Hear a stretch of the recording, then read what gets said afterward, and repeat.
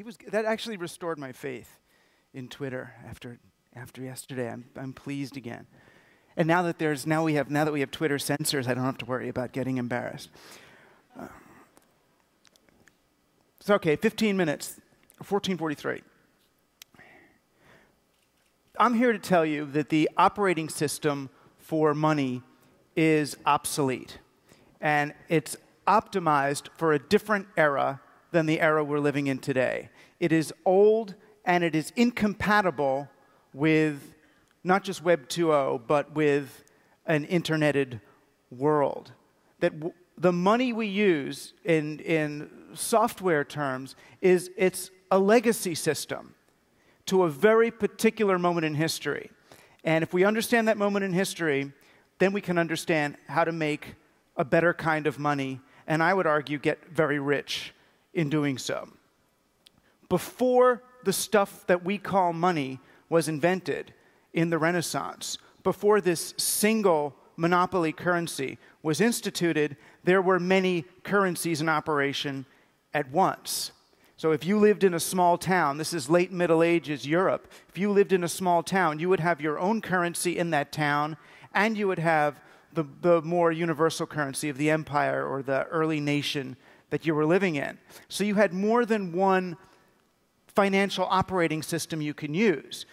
Today, basically, you wake up, we know what money is. It's as if you woke up and every single computer in the world had Microsoft Windows 3.1 and that's it. That there was never anything else. You wouldn't even know that there was anything else. But these people had different money for different things. They had local currencies, which were abundance based currencies. And these were based on grain, usually. You'd make grain in the fields, you'd bring it to the grain store, he would weigh it to store it, and he would give you a receipt for the amount of grain that you had brought him. And then you could use this receipt to buy and sell things, right? You would tear a little piece off and you'd buy some chickens, you'd buy goats, you'd buy shoes, whatever you needed. And this was a currency actually that didn't grow over time. This is a currency that lost value over time. Each year, you would lose a certain amount of grain to spoilage or to rats or to something else. The grain store had to be paid. So every year, he would reissue that same currency. It would be devalued. So the bias of this currency was not towards saving. The bias of this currency, this particular medium, was towards spending. And people did spend, and people were actually getting really wealthy. I know we like to think of the Middle Ages as just this universally bad thousand years, but there were a few good things happening in the late Middle Ages too. One of them was this massive creation of wealth that started to happen around 1100. And it was a big problem for the people who were already rich. Right? If you were from a big aristocracy, or you were from one of the big aristocratic families, or you were an early sort of proto monarch or a failing feudal lord, you looked at the rising middle class, the bourgeois, and you were upset by this because if people were getting wealthier, it meant you, by staying the same, were getting poorer. So, what they did was they changed the operating system of money. Philip the Fair is a great example. In, in France, one of, the, one of the guys who did this very quickly, what they did was said all local currencies are illegal. And instead, you've got to use coin of the realm, right, which is central bank issued, treasury, monarch imprinted currency. And this, rather than being an abundance based currency, is going to be a scarcity based currency. Why do they want to use a scarcity based currency? Because the monarch wants to be able to lend money into existence.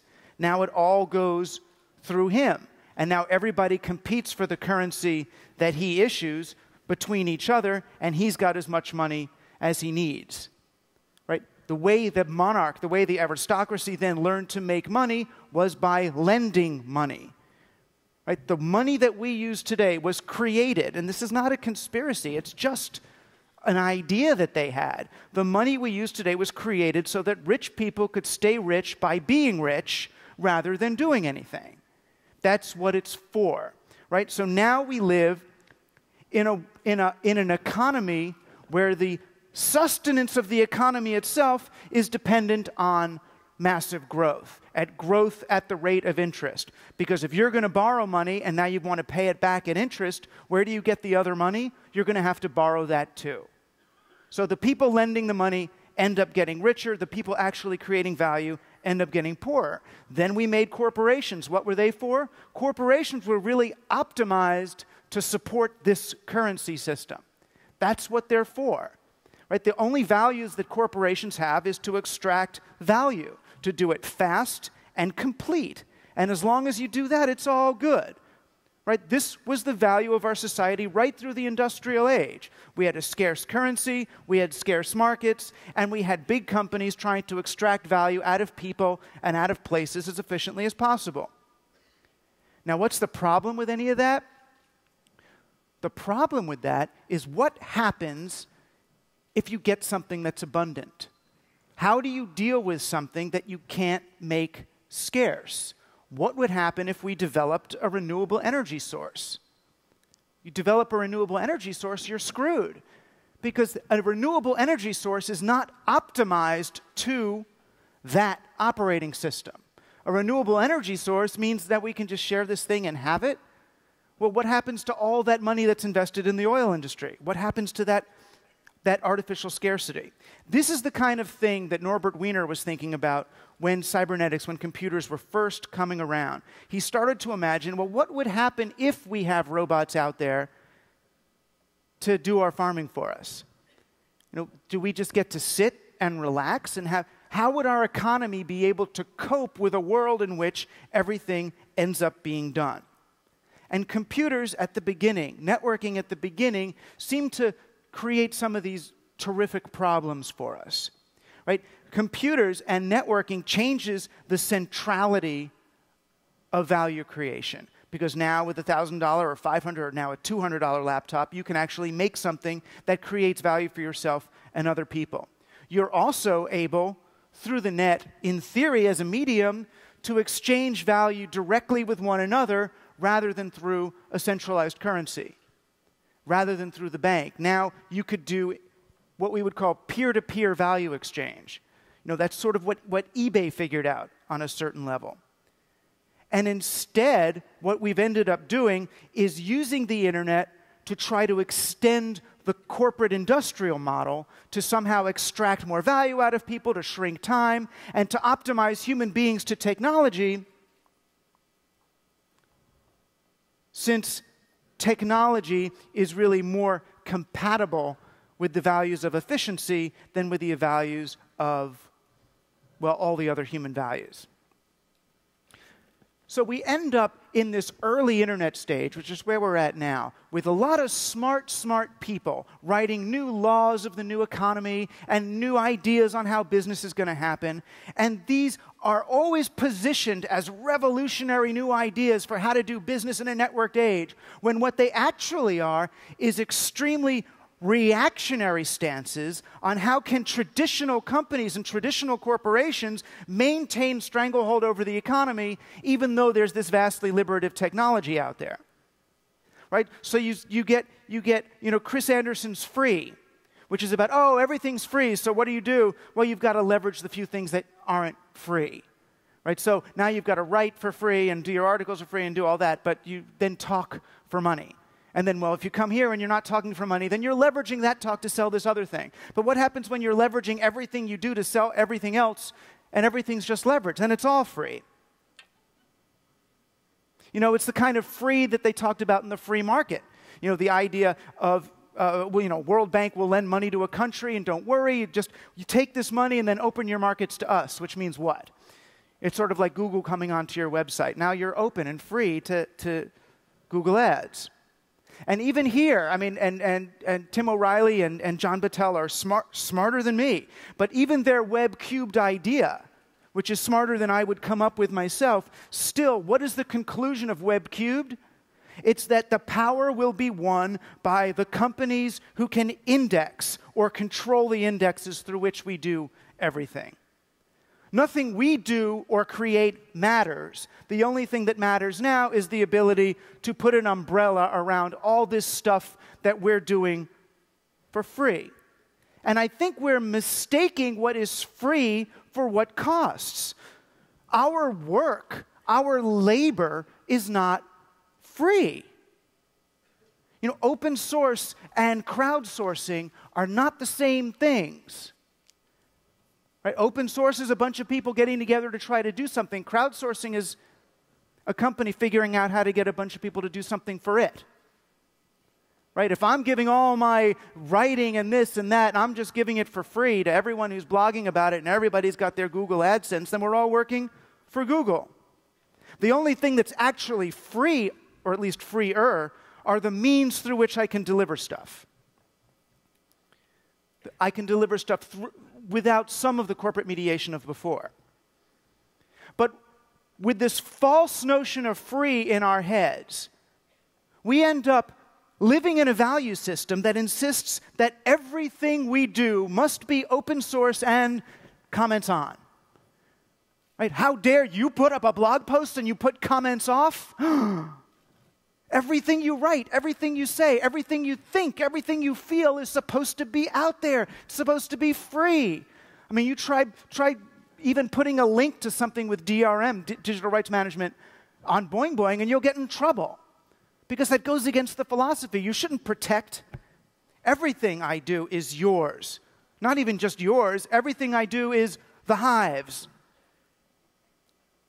This is what leads ultimately to copying, to a, a, society of copying, to no originality, to this sort of DJing of culture. That's why we haven't had new music in 20 years, or why the, late, the biggest TV movie now is The Prisoner, which is a remake. Ugh. I mean, what really, and even in the open source movement, what did the open source movement give us so far? Copies of things. Maybe better copies, but copies. We got a copy of Unix, a copy of Encyclopedia Britannica, copy of Netscape. You know, copy protection really means what? Protecting me from all these copies of things. You know, where's the Creative Commons law? Where's the Creative Commons license that I can say, okay, you can have it for free, but at least you just have to ask me for it? Free if you send me an email. I just want, I just want to give it to you rather than to, than to it.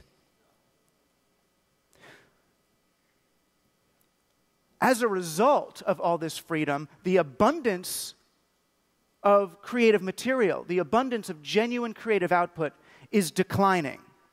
We are actually getting the scarce marketplace demanded by our legacy currency system. The same way the early Renaissance got a scarcity of labor by killing off half the people with the plague. The alternative, and we've got two and a half minutes to get it, the alternative is two things. One is the development of a digital culture that actually respects the labor of individuals, right? My writing is my writing, it is not a medium for Google Ads. And second, the creation of new modes of currency based in abundance rather than scarcity. And I'm talking, yeah, about genuine alternative digital currencies. The original PayPal dream before bankers went to government and said, you have to regulate them like a bank. This is illegal. Don't let anyone else do it. This is not nuts. I mean, 20 years ago, we were all telling, uh, probably if you were alive, you were telling people they were going to be using email someday, and they all laughed you out of the room. Amazon was a big deal. Craigslist was a big deal. eBay was a big deal. This is actually easier and less of a stretch and actually needed. I, I contend the next big thing, if there is a big thing, it's a lot of small things actually, but the people who will make the next big amount of money are the people who create genuine alternative electronic currencies and means of peer to peer exchange that do not involve cash. Cash is artificially scarce. Cash has been taken away, it's out of the system. Cash has lost its utility value as it's been sucked out into investment capital, into the speculative marketplace. The only real competition to a Google universe, and nothing necessarily wrong with a Google universe, but let's have a few alternatives. The only real possible competition to Google and their economy of faux openness would be peer to peer exchange. There's a few versions out there. They're primitive, though. There's Time Dollars is out there for, for people in communities locally to try to do it. ITEX is an interesting one for business to business kind of barter. There's a more advanced one I've been looking at called Superfluid. Check that one out, superfluid.biz which is kind of the next generation for both peer to peer and business to business exchange with an alternative currency called Quids. I don't believe we are suffering from an abundance of creativity, just an abundance of productivity, efficiency, and openness. You know, if web cubed leads to aggregators and indexes, then peer to peer, genuine peer to peer, would lead to bottom up value creation. I don't think this next era in the internet is about scaling up anymore. I think it's about figuring out how to exchange value instead of extracting value. We are, we are at a crossroads. Right now, we have the ability to optimize our systems, our technologies, and our currency to humans rather than optimizing humans to them. And I implore you to do that. And I think you will be happy and rich as a result. Thank you.